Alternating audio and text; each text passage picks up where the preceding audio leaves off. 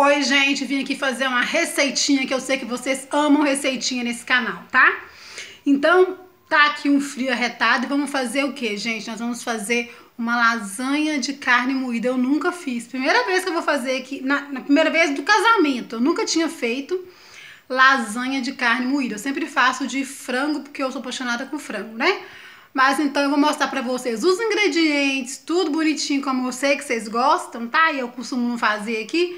Mas bora lá fazer essa lasanha de carne moída aqui simples, tá, gente? Com algumas coisas que eu tenho em casa e que eu acho que você também. Já vai curtindo, compartilhando, se inscrevendo, que vai ter muita receitinha aqui nesse canal que eu sei que vocês gostam.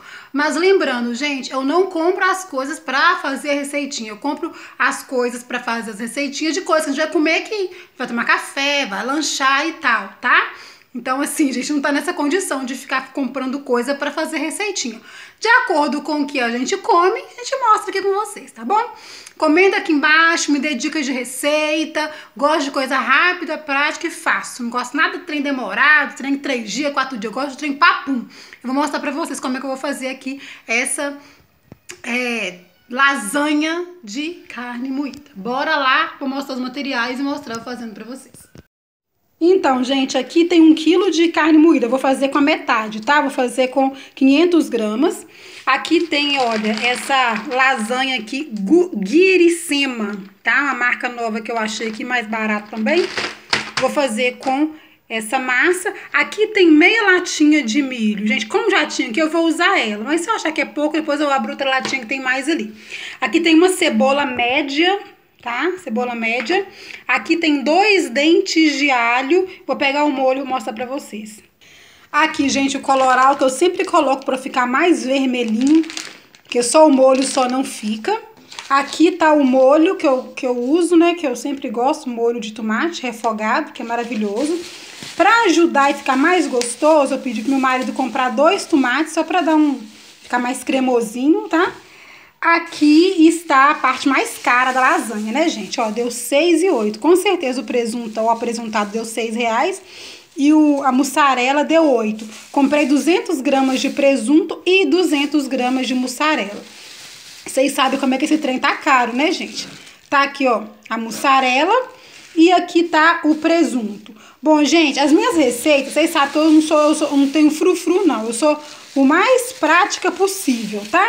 Aí eu vou mostrar pra vocês. Eu faço lasanha sem cozinhar a, a, o macarrão. Eu já jogo o molho bem quente nele, que dá uma pré-cozida, e depois eu vou e jogo pro forno e aço. Eu vou usar essa vasilha aqui, ó, de vidro, tá? Retangular. Essa panela, que é a única que eu tenho, que é a minha pipoqueira, que eu faço as coisas nela, que eu tenho que comprar panela, vou fazer o molho aqui tá? É isso daí, gente. Agora eu vou mostrar aqui o passo a passo pra vocês. Gente, tem mais coisa em casa? Coloca mais coisa, tá? Como eu só tenho isso, eu vou colocar só isso daqui, tá? Se tiver é, cheiro verde, cebolinha de folha, coentro, salsa, eu não tenho e não falei pro meu marido comprar. E aí, vamos com isso aqui mesmo e vai ficar bom. Aí, gente, o tempero é lógico, sal ou tempero pronto se tiver se tiver, você coloca, tá? Eu vou usar o sal branco mesmo, normal. Então, agora, bora lá pra gente poder fazer o nosso molho e montar a nossa lasanha de carne moída.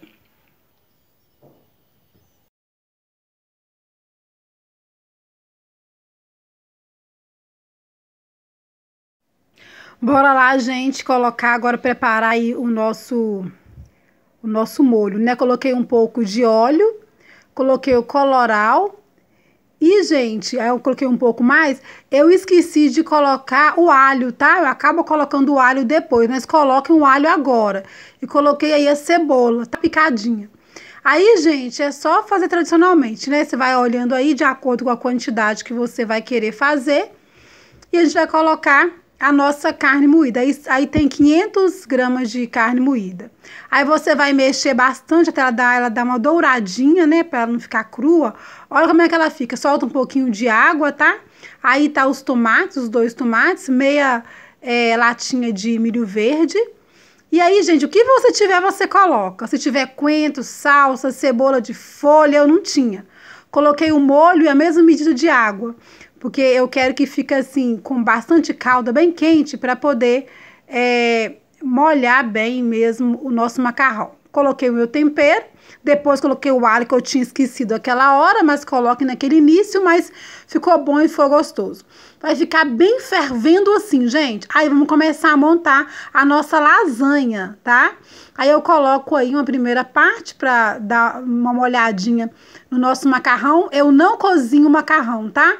Eu já faço com ele cru. Depois que eu aprendi isso, nunca mais eu cozinhei, gente. É um trabalhão, tem que ficar vendo o ponto. Olha, aí você coloca essa esse molho bem quente, tá? Fiz uma camada né, de, de desse molho maravilhoso e vamos aí com presunto e mussarela, tá? Vai cobrindo com presunto e mussarela, que é maravilhoso, né, gente? Quem não ama um presuntinho, a mussarela. Cobre aí, gente. Aí bora lá continuar de novo a etapa da nossa lasanha colocando o macarrão, tá? Cobre bem cobridinho aí, depois você quebra uns pedacinhos e tal, e mais uma camada bem generosa do nosso molho aí de carne moída. Primeira vez que eu faço aqui em casa e no canal também lasanha de carne moída. sempre faço de peito de frango. Tá aí, olha. Cobri, eu comprei 200 gramas de mussarela e 200 gramas de presunto, tá? Meu marido comprou. Presunto ou apresuntado, aí vai de acordo com o seu gosto, com o seu dinheiro também. Cobri aí, gente. Aí volta mais uma camada de macarrão e eu vou fechar com molho, tá? Aí tudo depende também do tamanho da sua vasilha. Aí eu vou colocar o restante do molho e o, re o resto que sobrou de presunto e mussarela eu coloco por cima. Aí nós vamos para o nosso forno, eu deixei pré-aquecendo durante 10 minutos, deixei o forno pré-aquecido e eu deixei 15 minutinhos só, gente, porque como o macarrão tá bem molhadinho aí e esse molho tá bem quente, ele já deu uma pré-cozida, né? E o resto tudo pronto já porque no caso é mais, é só derreter mesmo o, o presunto e a mussarela e cozinhar, na verdade, né, o nosso macarrão, tá? Aí eu vou colocar no forno, vou deixar uns 15 minutinhos. Você vai dando uma olhadinha, né? Vamos, vamos sei como é que tá a, a temperatura do seu forno. Coloco aí, gente, é só partir pro abraço e esperar, tá? Depois eu fiz um arrozinho branco, comemos com arroz. E aí, gente, ficou essa delícia, ficou maravilhoso. Eu amei, meu marido amou, já acabou, não tem nada aqui mais. Não sobrou nem pro cachorro. E tá aí essa delícia, tá, gente? Eu espero que tenham gostado. Não se esqueça de curtir, comentar, se inscrever, compartilhar os vídeos aqui do canal. Vai ter muita receitinha que eu sei que vocês gostam, tá? Dentre outros conteúdos que eu também gosto. É isso daí, gente. Beijo no coração. Até o próximo vídeo e tchau, tchau.